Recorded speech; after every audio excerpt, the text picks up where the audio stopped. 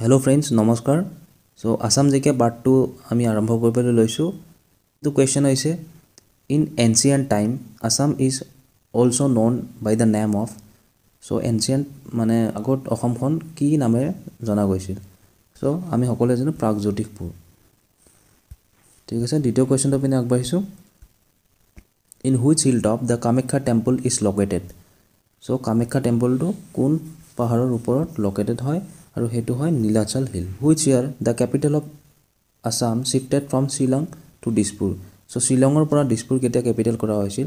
চ' প্ৰথম যেতিয়া অসমখন অবিভক্ত আছিলে তেতিয়া আমাৰ শ্বিলং আছিলে অসমৰ কেপিটেল চ' নাইনটিন ছেভেণ্টি থ্ৰীত কি কৰা হৈছিলে আপোনাৰ? যেতিয়া মেঘালয় ফৰ্মেশ্যন হৈছিলে নাইনটিন ছেভেণ্টি থ্ৰীত আপোনাৰ শ্বিলঙৰ পৰা দিছপুৰলৈকে কেপিটেলটো স্থানান্তৰিত কৰা হৈছিল। চ' যিটো বৰ্তমানৰ কেপিটেল হয়। ঠিক আছে ফ্ৰেণ্ডছ চ' নেক্সট কুৱেশ্যনটো হৈছে আপোনাৰ the Assam Sahitya Sabha was first founded in the year so' Asom Sahitya Sabha প্ৰথম কেতিয়া গঠন হৈছিলে বা প্ৰথম অধিৱেশনখন কেতিয়া হৈছিলে? ঊনৈছশ সোতৰ চনত হৈছিলে। আৰু ক'ত হৈছিলে? শিৱসাগৰত হৈছিলে। মনত ৰাখিব। শিৱসাগৰত হৈছিলে। আৰু প্ৰথম সভাপতি আছিলে পদ্মনাথ গোহাঁই বৰুৱা। পদ্মনাথ গোহাঁই বৰুৱা মনত ৰাখিব। আৰু অসম সাহিত্য সভাৰ হেডকোৱাৰ্টাৰ আপোনাৰ আছে যোৰহাটত। বৰ্তমানৰ যোৰহাট আৰু অসম সাহিত্য সভাৰ প্ৰথম যেতিয়া গঠন হৈছিল তেতিয়া নাম আছিল অসমীয়া ভাষা উন্নতি সাধিনী সভা। মনত ৰাখিব। চ' ফৰ্মাৰলি ইয়াক কি কোৱা হয়? যে অসমীয়া সাহিত্য ক্ষমা কৰিব অসমীয়া ভাষা উন্নতি সাধিনী সভা বুলি জনা গৈছিলে। পিছত এইটো নামাকৰণ চেঞ্জ কৰি পেলাই অসম সাহিত্য সভা নামাকৰণটো দিয়া হয়। ঠিক আছে ফ্ৰেণ্ডছ চ' এইটো উত্তৰ হয় আপোনাৰ ঊনৈছশ সোতৰ চন। মনত ৰাখিব। কুৱেশ্যনটো হৈছে the first conference of Assam Sahitya Sabha was held at চ' মই অলৰেডি ক'লোঁ শিৱসাগৰত হৈছিলে প্ৰথম Sahitya Sabha অধিৱেশনখন। So' next question who was the first president of Assam Sahitya Sabha so' already discuss কৰিলোঁ পদ্মনাথ গোহাঁই বৰুৱা আছিলে প্ৰথম সভাপতি। চ' নেক্সট হৈছে total number of national park in Assam so' national park total পাঁচখন হয় আমি সকলোৱে জানো। কি কি হয় আপোনাৰ? মানাছ কাজিৰঙা মানাছ কাজিৰঙা ওৰাং বা ৰাজীৱ গান্ধী বুলি কোৱা হয়। ওৰাং নামেৰি আৰু আপোনাৰ হৈছে ডিব্ৰু চৈখোৱা। ঠিক আছে ফ্ৰেণ্ডছ ডিব্ৰু চৈখোৱা। চ' আমাৰ মানাছখন আছে আমাৰ চিৰাং ডিষ্ট্ৰিক্ট কোকৰাঝাৰ ওদালগুৰি বাক্সা এই গোটেইখিনিত বিস্তৃত হৈ আছে। কাজিৰঙা আছে গোলাঘাট আৰু নগাঁও ডিষ্ট্ৰিক্ট ওৰাং আছে আপোনাৰ শোণিতপুৰ আৰু দৰং ডিষ্ট্ৰিক্ট নামেৰি আছে শোণিতপুৰ ডিষ্ট্ৰিক্ট ডিব্ৰু চৈখোৱা ডিব্ৰুগড় আৰু তিনিচুকীয়া ডিষ্ট্ৰিক্টত আছে। চ' ফ্ৰেণ্ডছ মনত ৰাখিব only five national park are there in Assam আৰু আপোনাৰ এইটিন ৱাইল্ড লাইফ চেংচুৰী আছে। Wild life sanctuary wild life sanctuary আছে ওঠৰখন অসমত।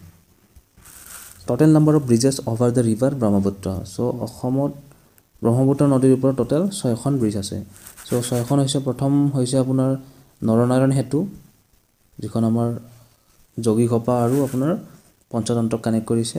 দ্বিতীয়খন আছে আপোনাৰ চৰাইঘাট যিখন পুৰণি চৰাইঘাট শৰাইঘাট ওৱান শৰাইঘাট টু যিখন নতুনকৈ বনাই আহিছে শৰাইঘাট টু এই তিনিখন তাৰপিছত হ'ল আপোনাৰ কলীয়া ভোমোৰা কলীয়া ভোমোৰা।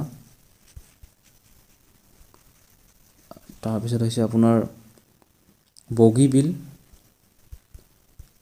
আৰু ভূপেন হাজৰিকা সেতু। ভূপেন হাজৰিকা সেতু বা আপোনাৰ ধলা শদিয়া ব্ৰিজ। ঠিক আছে ফ্ৰেণ্ডছ চ' এই ছখন হৈছে প্ৰধান আমাৰ ব্ৰিজ অসমৰ ব্ৰহ্মপুত্ৰৰ ওপৰত। Next question the Narayan Setu connects the Panchatantra town with which city so' মই অলৰেডি ক'লোঁ যে যোগীঘোপা চিটিখনক আপোনাৰ পঞ্চতন্ত্ৰৰ লগত কানেক্ট কৰে কোনে? নৰনাৰায়ণ সেতু দলংখনে। ঠিক আছে ফ্ৰেণ্ডছ চ' নেক্সট কুৱেশ্যন হৈছে who was the first chief minister of Assam so' সকলোৱে জানো গোপীনাথ বৰদলৈ অসমৰ প্ৰথম চিফ মিনিষ্টাৰ আছিলে। Next question is Srimanta Sankardev was born in the year so' সকলোৱে জানো এইটো নাইনটিন ক্ষমা কৰিব ফ'ৰটিন ফৰ্টি নাইন চৈধ্যশ ঊনপঞ্চাছ the first Assamese film Joymoti was released in the year so' Joymoti যিখন ৰূপকোঁৱৰ জ্যোতিপ্ৰসাদ আগৰৱালাদেৱে ৰচনা কৰিছিলে আৰু তেওঁ নিজে অভিনয় কৰিছিলে সেইখন ঊনৈছশ পঁয়ত্ৰিছ চনত ৰিলিজ কৰা হৈছিলে প্ৰথমবাৰৰ বাবে মনত ৰাখিব। আৰু দ্বিতীয়খন ফিল্ম ভানুমতী মনত ৰাখিব জ্যোতিপ্ৰসাদ আগৰৱালাই জয়মতী ফিল্মখন তৈয়াৰ কৰি পেলাই বহুত লোকচান হৈছিলে তেখেতৰ আৰু সেই লোকচানটো পূৰাবলৈ তেখেতে ভানুমতী ফিল্মখন ঊনৈছশ আঠত্ৰিছ চনত তেওঁ ৰিলিজ কৰিছিলে দ্বিতীয়খন বোলছবি কেতিয়াবা এক্সামত দ্বিতীয়খন সুধি দিয়া হয়। So' the Abhiruchi sports day is celebrated on. So' Abhiruchi খেল দিৱসটো কেতিয়া পালন কৰা হয়? চ' এইটো পালন কৰা হয় third September. Bhogeswar Baruah wins a medal in Asian games. So' যিটো গ'ল্ড মেডেল জিকিছিলে ভোগেশ্বৰ বৰুৱা অসমৰ। চ' তেখেতে ঊনৈছশ চনৰ এছিয়ান গেমছত আপোনাৰ গ'ল্ড মেডেল জিকিছিলে মনত ৰাখিব ঊনৈছশ চনত। Who was the last king of Ahom kingdom so' last কিঙৰ কুৱেশ্যনটো সুধি থকা হয় মনত ৰাখিব পুৰন্দৰ সিংহ। লাষ্ট কিং আছিলে আপোনাৰ পুৰন্দৰ সিংহ আৰু ফাৰ্ষ্ট আছিলে আহোমৰ চুকাফা। মনত ৰাখিব প্ৰথম চুকাফা যিটো হৈছিলে বাৰশ আঠাইছ চনত অসমলৈ আহিছিলে। Treaty of Yandabo was signed in the year so' Yandabo সন্ধি যিটো হৈছিলে সেই ট্ৰিটিটো কিমান চনত? ওঠৰশ ছাব্বিছ চনত স্বাক্ষৰিত হৈছিলে যিটো আপোনাৰ মান আৰু আপোনাৰ মান ভাৰ্চেছ ব্ৰিটিছ চ' মান আৰু ব্ৰিটিছৰ মাজত হৈছিলে এই চুক্তিখন। ঠিক আছে ফ্ৰেণ্ডছ চ' নেক্সট কুৱেশ্যনৰ পিনে আগবাঢ়িছোঁ which one is the first Assamese novel so' প্ৰথম অসমীয়া নভেল কোনখন হয়? সেইখন হৈছে ভানুমতী। মনত ৰাখিব ভানুমতী প্ৰথম অসমীয়া novel the state anthem O' Mor Aponar Desh was first publish in the magazine named so' O' Mor Aponar Desh যিটো আমাৰ অসমৰ জাতীয় সংগীত চ' সেইটো প্ৰথম পাব্লিছ কোনখন মেগাজিনত হৈছিলে? চ' সেইটো হৈছিলে বাঁহী। বাঁহী মেগাজিনত প্ৰথম এইটো পাব্লিছ হৈছিলে। So' the first Assamese magazine Arunodoi was publish in the year so' Arunodoi এখন প্ৰথম অসমীয়া মেগাজিন হয় প্ৰথম অসমীয়া আলোচনী হয় আৰু সেইখন সেইখন আপোনাৰ হৈছিলে ওঠৰশ ছিয়াল্লিছ খ্ৰীষ্টাব্দত এইটো পাব্লিছ হৈছিলে পোনপ্ৰথমবাৰৰ বাবে। So' next question the first Assamese to compile a dictionary name Hemkosh so' Hemkosh যিখন আমাৰ অসমীয়া ডিকশ্যনাৰী চ' সেইখন কেতিয়া পাব্লিছ হৈছিলে ক্ষমা কৰিব কোনে পাব্লিছ কৰিছিলে? চ' ইয়াতে দুটা অপশ্যন আছে হেমচন্দ্ৰ গোস্বামী আৰু হেমচন্দ্ৰ বৰুৱা। ইয়াত কনফিউজিং হয় সকলোৱে হেমচন্দ্ৰ গোস্বামী কেতিয়াবা ক্লিক কৰি আহে। চ' এইটো ভুল নকৰিব হেমচন্দ্ৰ বৰুৱা হয় মনত ৰাখিব। হেমচন্দ্ৰ বৰুৱাই কি কৰিছিলে হেমকোষখন কম্পাইল কৰিছিলে। Who is the first Assamese to receive Jnanpith award বা জ্ঞানপীঠ এৱাৰ্ড চ' এইটো জ্ঞানপীঠ বা জ্ঞানপীঠ বুলি কোৱা হয়। চ' এইটো আপোনাৰ বীৰেন্দ্ৰ কুমাৰ ভট্টাচাৰ্যই পাইছিলে প্ৰথম। মনত ৰাখিব বীৰেন্দ্ৰ কুমাৰ ভট্টাচাৰ্যই প্ৰথম অসমীয়া ব্যক্তি যোনে জ্ঞানপীঠ এৱাৰ্ড পাইছিলে আৰু কোনখন বুকৰ বাবে পাইছিলে সেইটো মনত ৰাখিব মৃত্যুঞ্জয়। আমি সকলোৱে শুনিছোঁ এইখন গ্ৰন্থৰ বিষয়ে। নাইনটিন ছেভেণ্টি নাইনত পাইছিলে মনত ৰাখিব নাইনটিন ছেভেণ্টি নাইন আৰু ইয়াৰ আগত তেওঁ নাইনটিন ছিক্সটি ওৱানত তেওঁ য়াৰিংগম যিখন বুক তাৰ কাৰণে পাইছিলে সাহিত্য একাডেমী মনত ৰাখিব। চ' নাইনটিন ছিক্সটি ওৱানত যিটো পাইছিলে সেইটো য়াৰিংগম বুলি কোৱা হয়। তাৰ কাৰণে পাইছিলে মনত ৰাখিব সাহিত্য একাডেমী কিন্তু। আৰু নাইনটিন ছেভেণ্টি নাইনত পাইছিলে তেখেতে আপোনাৰ জ্ঞানপীঠ। মনত ৰাখিব জ্ঞানপীঠ পাইছিলে নাইনটিন ছেভেণ্টি নাইনত ফৰ দ্য বুক মৃত্যুঞ্জয়। কোনে পাইছিলে? বীৰেন্দ্ৰ কুমাৰ ভট্টাচাৰ্য। ঠিক আছে ফ্ৰেণ্ডছ নেক্সট কুৱেশ্যনৰ পিনে আগবাঢ়িছোঁ। Total number of district in Assam so' আমি জানো thirty three district total at present to next question হৈছে আপোনাৰ Hiuen Tsang visited Assam during the reign of so' Kumar Bhaskar বৰ্মনৰ দিনত হিউৱেন চাং ভাৰত অসমলৈ আহিছিলে ঠিক আছে? আৰু ভাৰতত তেতিয়া ৰজা কোন আছিলে? হৰ্ষবৰ্ধন আছিলে। হৰ্ষবৰ্ধন ঠিক আছে? চ' অসমত আছিলে কুমাৰ ভাস্কৰ বৰ্মন আৰু ভাৰতবৰ্ষৰ প্ৰতাপী ৰজা আছিলে তেতিয়া হৰ্ষবৰ্ধন। নেক্সট কুৱেশ্যন হৈছে in which year Sukapha establish Ahom kingdom in Charaideo so' Charaideo বৰ্তমান যিটো ডিষ্ট্ৰিক্ট হ'ল চ' চৰাইদেউ বাৰশ তেৱন্ন খ্ৰীষ্টাব্দত কি কৰিছিলে চুকাফাই চৰাইদেউক কেপিটেল হিচাপে ৰাজত্ব কৰিছিলে বাৰশ তেপন্ন খ্ৰীষ্টাব্দত। চ' নেক্সট কুৱেশ্যন হৈছে the war of Saraighat was fought between Ahom and Mughal in the year so' Ahom আৰু মোগলৰ মাজত যিটো আহোম আৰু মোগলৰ মাজত শৰাইঘাটৰ যুদ্ধ হৈছিলে সেইটো কোন চনত হৈছিলে?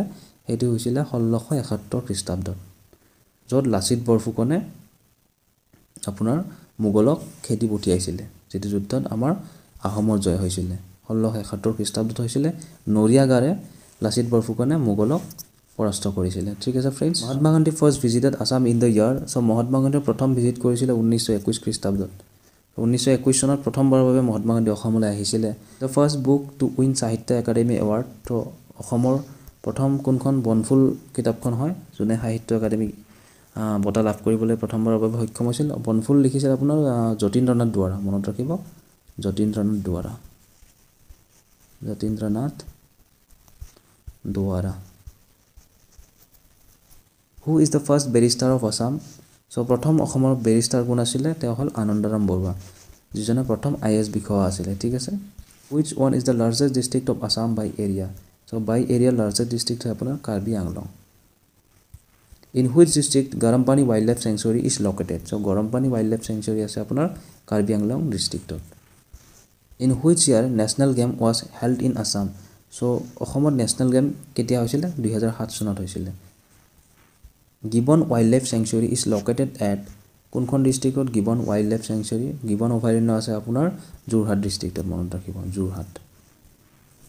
The Guwahati tea auction centre was establish in the year so' আমাৰ যিটো গুৱাহাটী টি অকশ্যন চেণ্টাৰ আছে যিটো আমাৰ গুৱাহাটীত দিছপুৰত স্থিত আপোনাৰ ছেক্ৰেটেৰিয়েটৰ ওচৰত আছে যিটো গুৱাহাটী টি বা চাহ নিলাম কেন্দ্ৰ সেইটো আপোনাৰ ঊনৈছশ সত্তৰ চনত স্থাপিত হৈছিলে।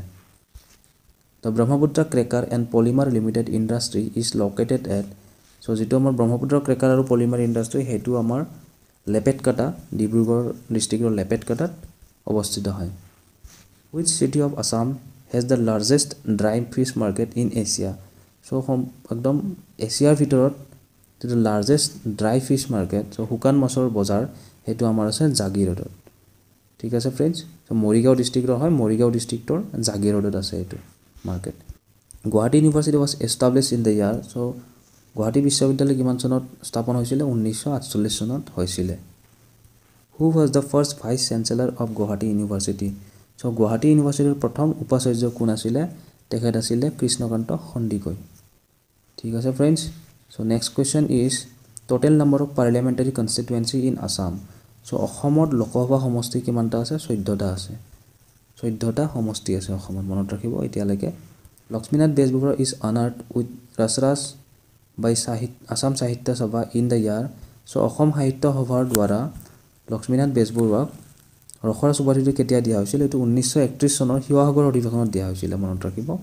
যিটো শিৱসাগৰ অধিৱেশন হৈছিলে তাত দিয়া হৈছিলে। আৰু মনত ৰাখিব শিৱসাগৰ অধিৱেশন প্ৰথম অধিৱেশনটো শিৱসাগৰত হৈছিলে। আৰু যিটো আপোনাৰ ঊনৈ ঊনৈছশ একত্ৰিছ চনত হোৱা শিৱসাগৰ অধিৱেশনতো ৰসৰাজ উপাধি লক্ষ্মীনাথ বেজবৰুৱাদেৱক দিয়া হৈছিলে। নাম ঘোষা ৱাজ ৰিটেন বাই চ' মাধৱদেৱ যদি কীৰ্তন ঘোষা সোধা হয় তেতিয়াহ'লে শংকৰদেৱ নাম ঘোষা সোধা হ'লে মাধৱদেৱ।